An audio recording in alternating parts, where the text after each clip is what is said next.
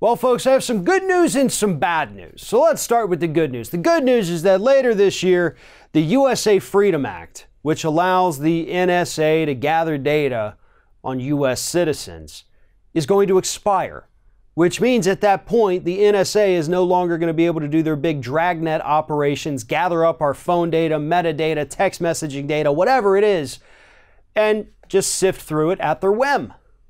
The bad news, though, is that uh, outgoing uh, National Intelligence Director Dan Coats sent a letter to Congress urging them to please, for the love of God, do not take away Donald Trump's ability to spy on American citizens. Trump's all in on this too. He doesn't want to lose these spying powers. Hell, those are important, right? Obama kept them in place let the government spy on us, and we know that that happened. These dragnet operations, again, that just swept up hundreds of thousands of American citizens. The Edward Snowden revelations, we know that this happened. And the federal government doesn't want to give up those powers. But they may not have a choice. This thing has to be reauthorized by Congress. Do you think the Democrats who control that chamber are going to let this happen? I do. Ah, it's not the answer you were expecting, but it is the answer I believe. I do think there are enough Democrats in that House of Representatives today to say, you know what? I think the NSA should still spy on people. I mean, after all, they supported it the first time it went through. They may not have had the majority, but enough of them joined forces to where it was an easy passage. Some of those folks are still there today, and it's unlikely that they've changed their opinions. When it comes to issues like this, in a lot of cases, there's not a ton of space between the Democratic Party and the Republican Party. Now, I'm sure 100% that we're going to have some really outspoken people saying how horrible this is. We're going to have Ro Khanna. We're going to have AOC. We're going to have Rashida Tlaib. We're going to have Ilhan Omar, Ayanna Pressley. All those folks, the true, real progressives in Congress, are going to speak out against this if they have not already.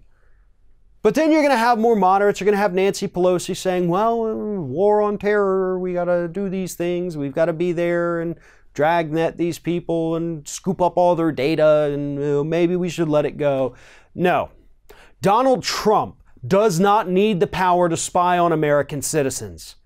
Barack Obama did not need the power to spy on American citizens, and neither did any president that has ever sat in that Oval Office in the history of the United States.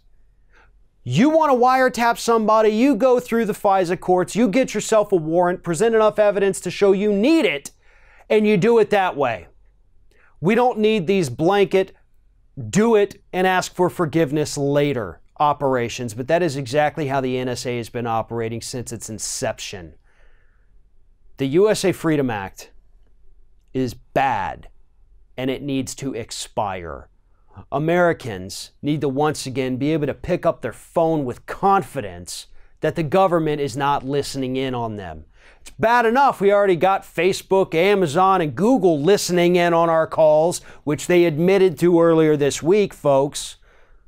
The last thing we need is a fourth person jumping in on that apparent conference call when we're just calling somebody to see what they're up to. Thanks for watching, everybody. And don't forget, if you like what you see here, like, comment, share, and subscribe to our channel. And now you can also become a member of Ring of Fire and get exclusive early access to certain Ring of Fire videos all throughout the week. Just click on the little join button right below the video.